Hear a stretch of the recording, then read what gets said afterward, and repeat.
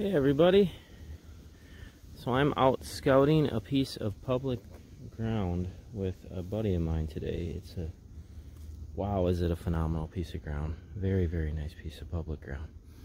And and it's in a great area too. I don't think he gets a lot of hunt pressure because he sat it last year and he saw a lot of deer in his two sits and he even shot a buck. He just had never shot a buck with his bow, so he took the first one that came by, which was a yearling buck, but um, he saw it well before, probably an hour and a half before last light, and he had already seen a bunch of deer by then. So very good piece of public. So just something to encourage you guys that hunt a lot of public that you can definitely find some gold nuggets. But this is kind of cool in this spot. I just wanted to show three different stages of growth with this aspen. So we got mature growth aspen here. Then right here, you swing this way, it's probably, I would guess, 15 year old growth aspen. And then swinging this way, back in here, move a little bit, we're looking at probably I bet seven to eight year old aspen growth. And this is thick, it goes that way. The loggers did a great job in this piece because you can see the big oaks they left just randomly placed throughout, but I just cut through that and it is thick, gnarly stuff. So when thinking about a stand site, we talk about deer being creatures of edge. This spot right here would be a great edge to hunt because that is clearly the bedding. The food is that direction. You can see the main run right here. So a tree like this would set up perfect to be able to hunt that transition from bedding into kind of an older growth stand and and then kicking the deer out towards the destination food um, in the evening.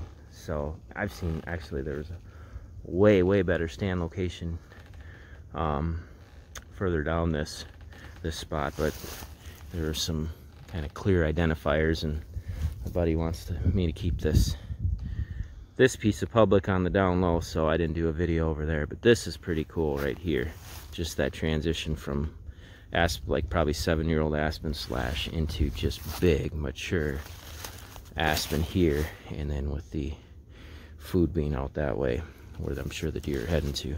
Lots of deer sign in here today too.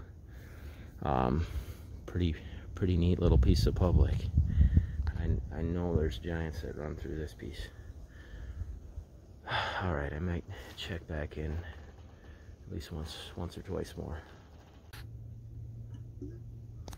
All right, so this spot here stands out because we have that aspen slash.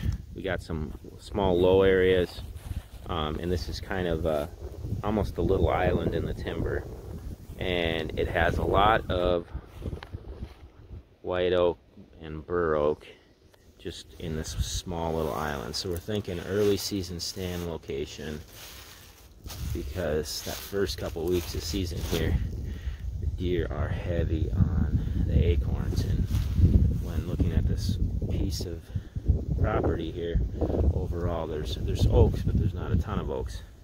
So this would be a great stand location because we have good trails and actually intersecting trails right here. The trail that cuts up that direction.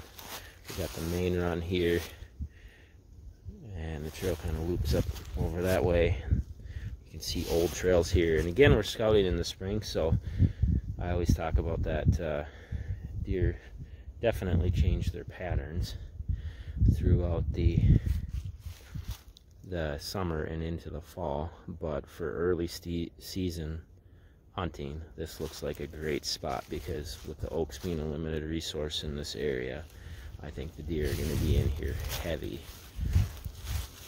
So should be a should be a good little spot to set up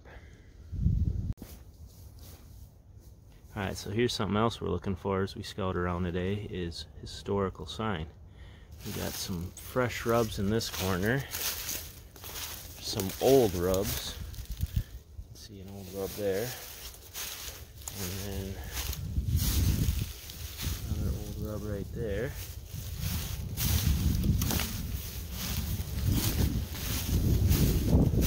Old rub there.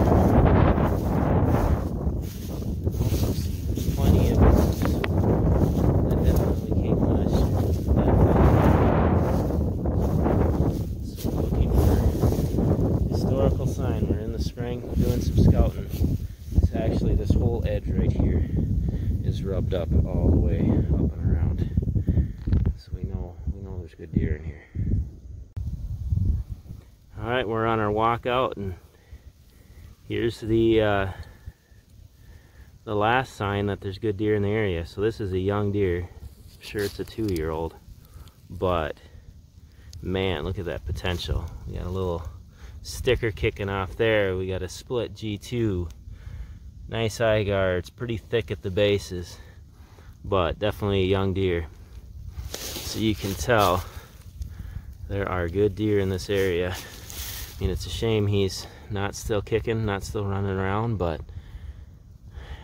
we know this is a big deer area.